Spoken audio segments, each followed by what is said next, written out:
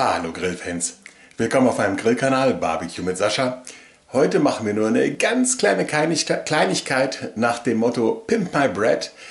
Werden wir eine Beilage gestalten, ein Brot. Dieses werden wir noch mit, einer kleinen Zusatz, mit einem kleinen Zusatz versehen. Bacon natürlich. Und dann probieren wir das nachher. Viel Spaß dabei!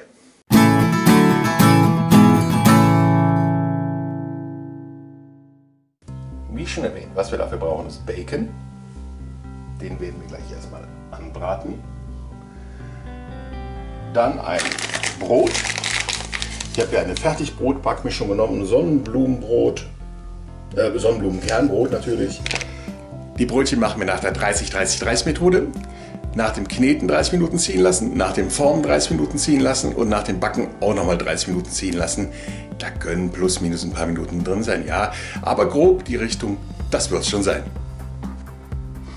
Der Bacon wird einfach grob gewürfelt. Also ist jetzt sowieso dünn geschnitten, aber dann halt in ganz dünnen kleinen Stückchen geschnitten. In die Pfanne damit und so lange rösten lassen, bis er einigermaßen kross ist. Das machen wir jetzt einfach mal. Die Backmischung kommt einfach mit 300 Gramm lauwarm, Entschuldigung, die Backmischung kommt natürlich mit 300 Milliliter lauwarmem Wasser in den äh, Mixer mit Knethaken. Diesen lässt man dann erst langsam loslaufen.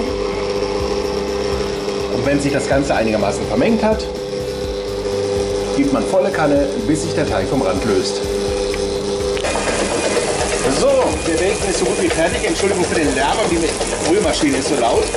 Den tun wir jetzt einfach mit ins Brot.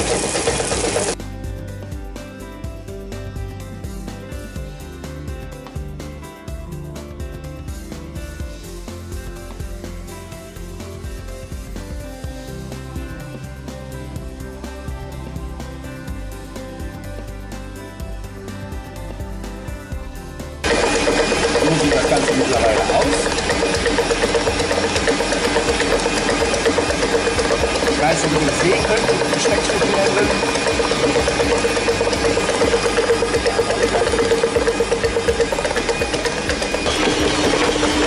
Ich habe noch zwei Esslöffel Mehl extra reingetan, weil durch das Fett äh, das Ganze etwas zu feucht geworden ist und einfach klebte. Wie ihr seht, löst sich alles gut. Das heißt, wir würden jetzt auch rühren. Ich gehe nochmal kurz mit der Hand da durch und dann lassen wir ihn die ersten 30 Minuten ruhen. In der Zwischenzeit habe ich eine Schale mit Wasser in den Herd getan. Bei 170, 180 Grad. Ober-Unterhitze mit Umluft.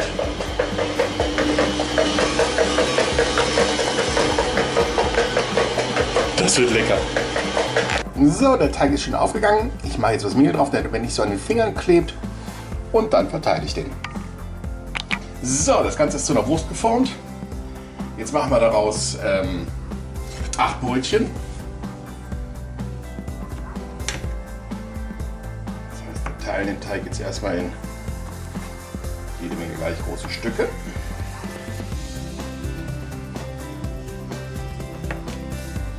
Das Schöne bei 8 ist, ist 2 mal 2 mal 2. Das heißt, man kann das Ganze super einfach teilen, indem man immer die Mitte nimmt. Dann werden die Brötchen geknetet. Uah, ich habe kein Mehl mehr an die Finger genommen. Und zack.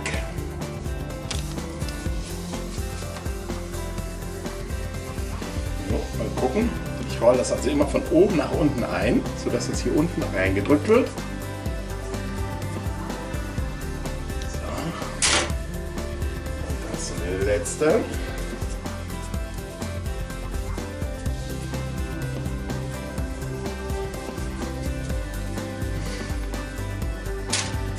Zack. So, jetzt kommt noch mal ein Handtuch drüber. Nehmen wir mal ein frisches. Und wir lassen das noch mal ziehen. Machen wir so ein feuchtes Handtuch drüber.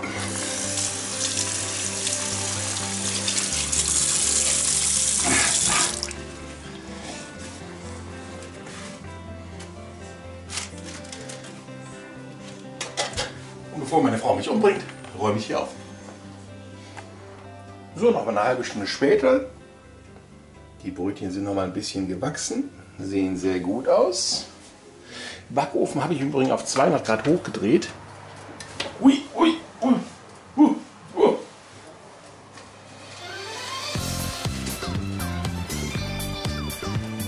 Jetzt hinein das gute Stück.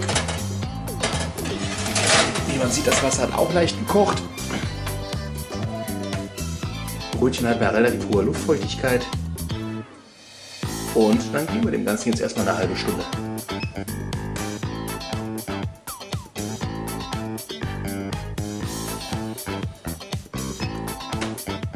Bis später. So, Halbzeit. Ich habe die Temperatur runtergedreht auf 170.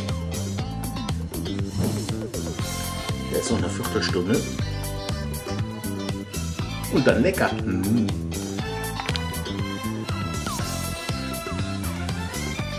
So. Ihr seht. 10 Sekunden. Darauf lassen wir es jetzt mal nicht ankommen.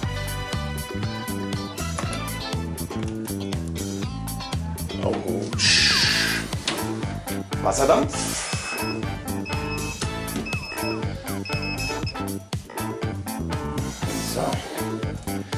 Kleiner Blick in meine Chromschublade. Ich lege mal eben die Kamera ein bisschen beiseite, ich kenne mich.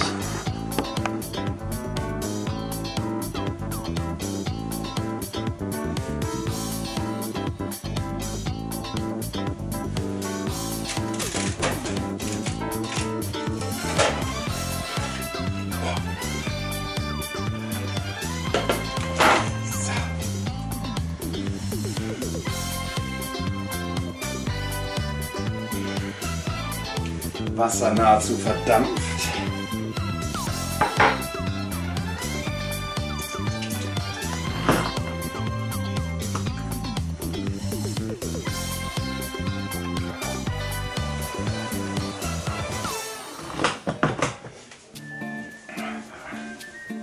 Dazu. So. Und wieso die jetzt noch ziehen müssen? Jetzt sind das aktuell Steine. Jetzt lassen wir die ein bisschen ziehen. Eine halbe Stunde ist wahrscheinlich zu viel, Viertelstunde dürfte die reichen. Werden wir gleich mal gucken. Aber danach sind die. So, Wartezeit vorbei. Ob ich die Kamera eingestellt bekomme, ich habe mal wieder keinen der mir helfen kann.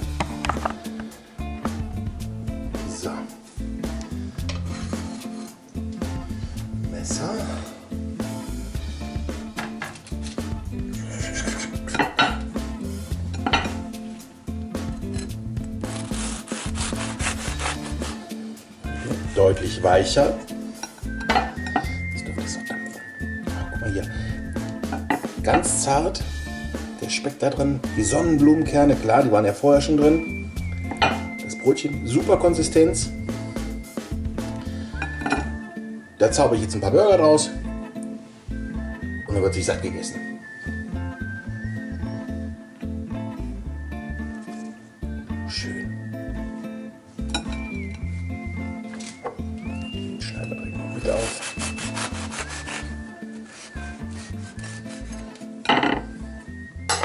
Wenn ihr euch jetzt fragt, wie soll man von diesen kleinen Brötchen satt werden? Beim Hausbäcker sind die immer viel größer. Ja, da sind die auch aufgeblasen. Hier ist komplett Teig. Wie gesagt, es ist jetzt ein Brotteig, es ist kein originärer Brötchenteig. Und dann geht's los. Mayonnaise. Jeweils schöner Klecks drauf.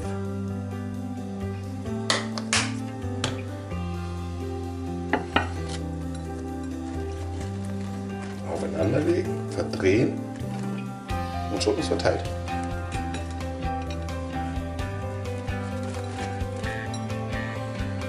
So.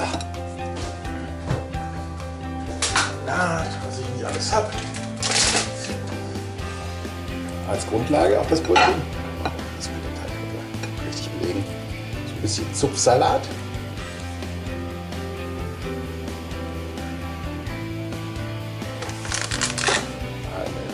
Rico. Dann nehmen wir die guten vom Discounter. Schmecken übrigens besser als erwartet. Und deutlich günstiger selbst gemacht. Jetzt geht nichts an eine selbstgemachte Frikadelle, gar keine Frage. Aber für mal eben zwischendurch, hallo?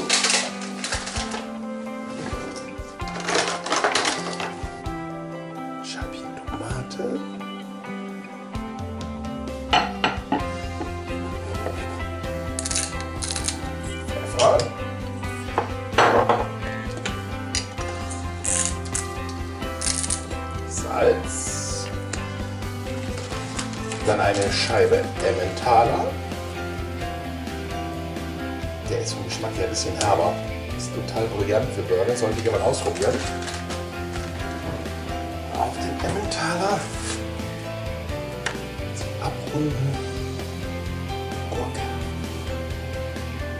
Eins, zwei, vier. Gurke ein wenig Geschmack.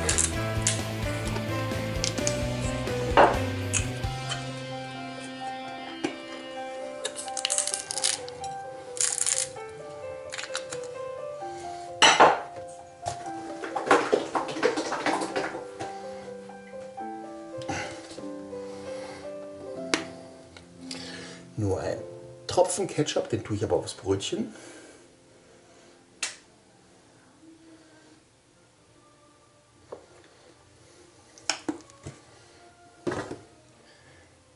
Reicht tatsächlich dieses bisschen aufs Brötchen drauf.